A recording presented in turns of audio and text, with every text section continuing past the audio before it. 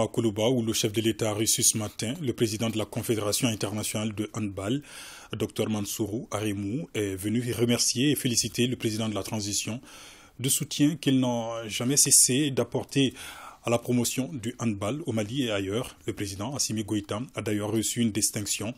Dr Mansourou Arimou s'est exprimé à sa sortie d'audience au micro de Dougoufana Traoré.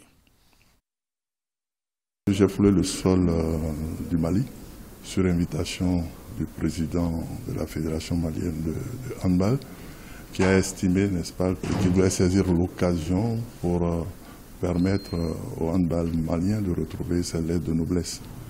Euh, donc c'est une visite de travail.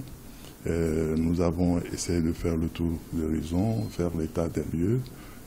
Nous avons convenu d'un programme sur quatre ans lequel programme nous avons essayé de présenter à M. le ministre en charge des Sports, qu'il a apprécié, qui a donné ses orientations. Il était normal que nous puissions venir aujourd'hui présenter tout ce point à son Excellence, M. le Président de la Transition, euh, qui a apprécié, a pris l'engagement d'accompagner, je dirais, le handball africain à travers son soutien personnel, n'est-ce pas, hein, au handball malien. Je crois que c'est intéressant que tous les acteurs, dont les responsables hein, euh, politiques, hein, c'est intéressant que nous puissions regarder dans la même direction pour bâtir, euh, je dirais, un handball euh, de renouveau ici au Mali.